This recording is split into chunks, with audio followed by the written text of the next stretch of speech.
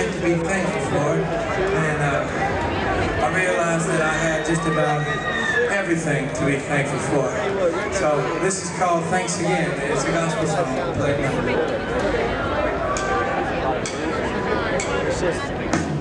now.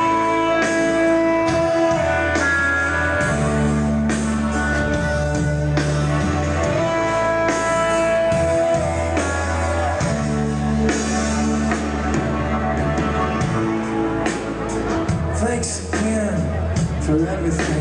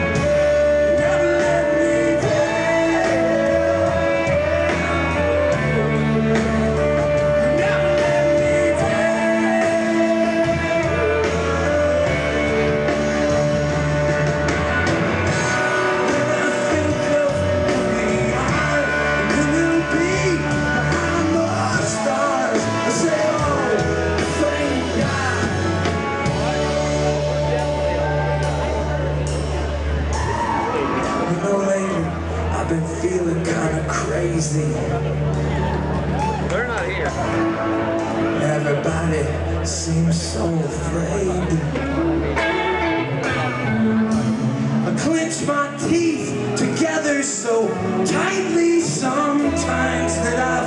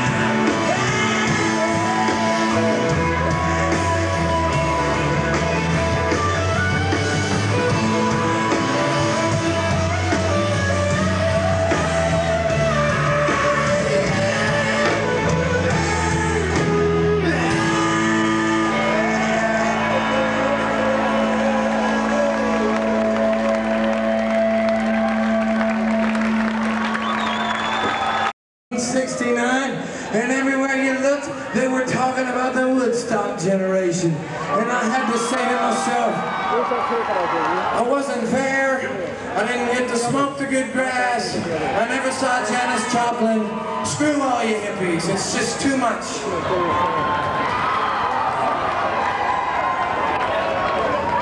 deep down. I like to smoke a little grass sometimes, listen to Janis Joplin, and uh, all y'all hippies are all right with me. This next song, though, is a song I wrote for an old hippie friend of mine that lived right through the Woodstock generation.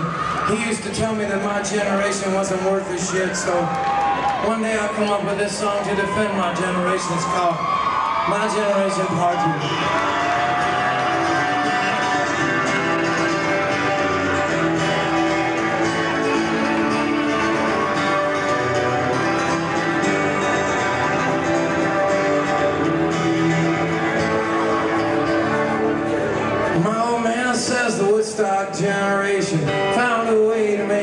Nation open up its eyes and take a look around. And he says that my generation ain't good for nothing.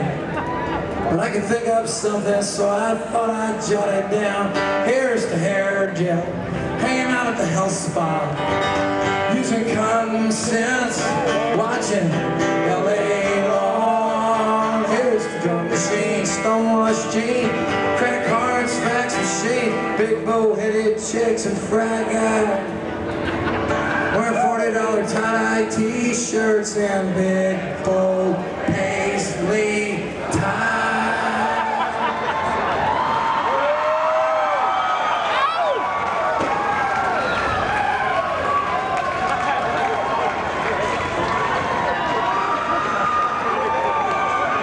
Here's to living off your dad as you can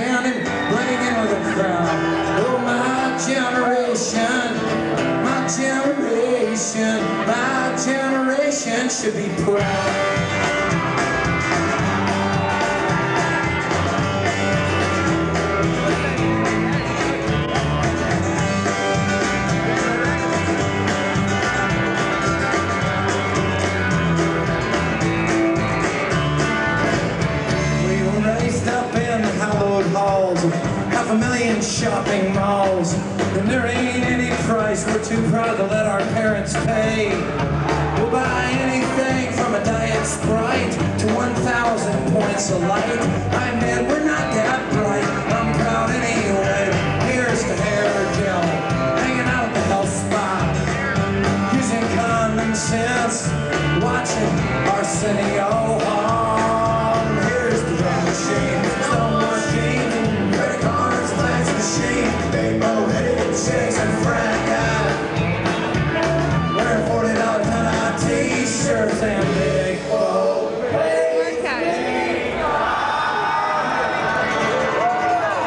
to do that again and give all y'all in the back a chance to sing out because it feels so good. Help me out, brothers and sisters, and say, Big, bold,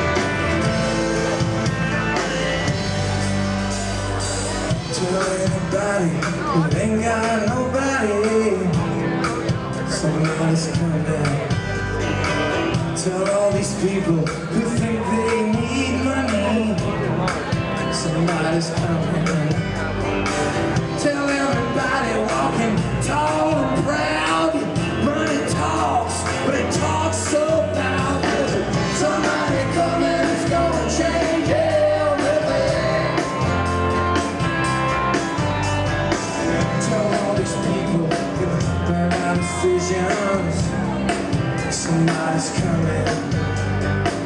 Tell all these people with hateful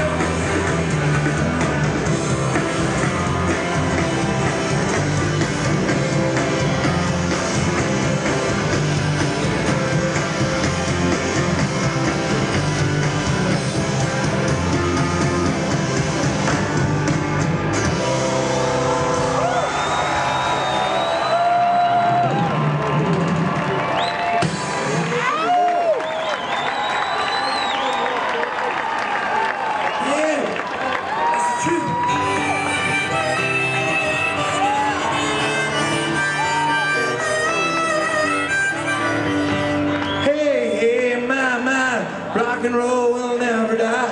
Hang your hair down in your eyes, you make million dollars.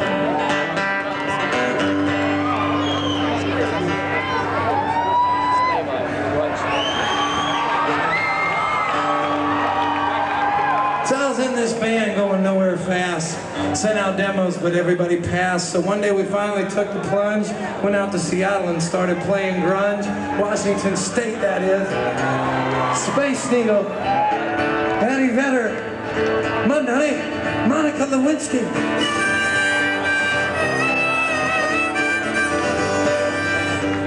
Now to fit in fast, we got flannel shirts and we turn our amps up until it hurts. We got bad attitudes and what's more, when we play, we stare straight down at the floor. How scary. How totally alternative. I think Jim Morrison did that once.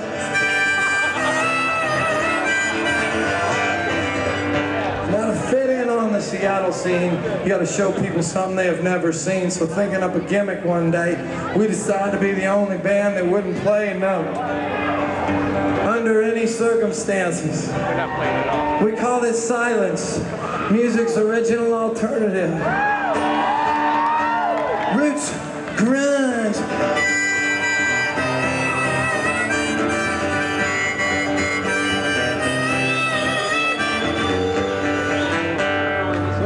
spread the word through the underground that we were the hottest new young band in town. Record guy come out to see us one day. Just like always, we refused to play, man, and knocked him out. He said he loved our work. He said he loved our work, but he wasn't sure he could sell a record with no music on it. I said, dude, you've been doing it all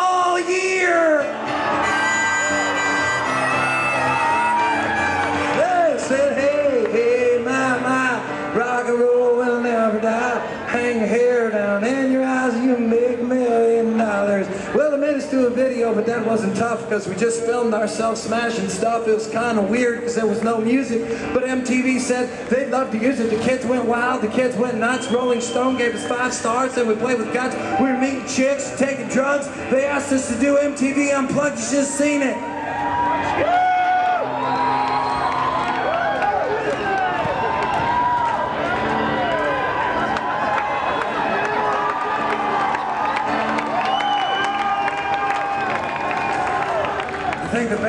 Quit. They're sick of this song, I think. But I never get sick of it.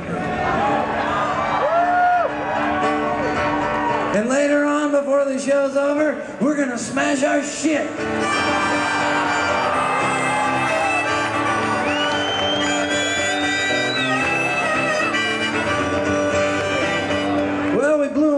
Grammy show by refusing to play, refusing to go, and then just when it looked like fame would last forever, along come this band that wasn't even together. Guns N' Roses is what it used to be called.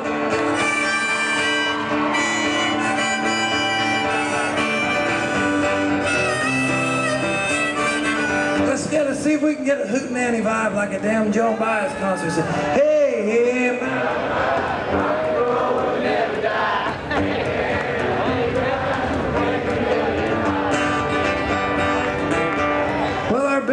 dropped and that's not funny because now we're hooked on crack but we're out of money. So the other day I called the band, I said, boys, I'm taking all I can. I said, we shave off these god-awful goatees, pack up our van, drive back to Bloomington, hang out with the coons for a while.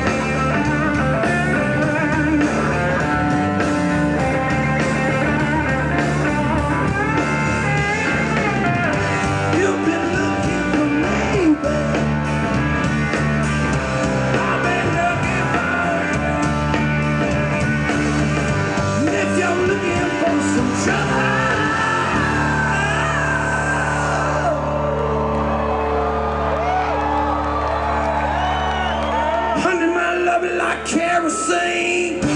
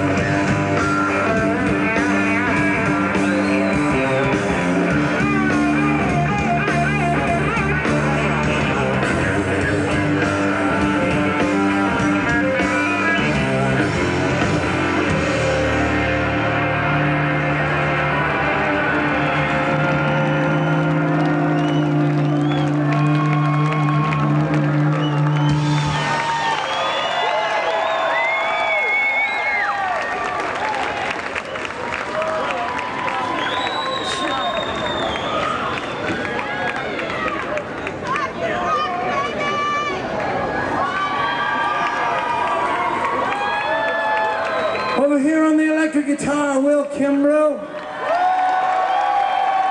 Back here on the drums, Paul Buccagnani. And over here on the bass guitar, the good Dr. Joe Mariencheck. Now I know you know we're working hard for you. We're gonna play a song about arithmetic and why I never could pass it in school. It's called It All Kick it off, Wichita.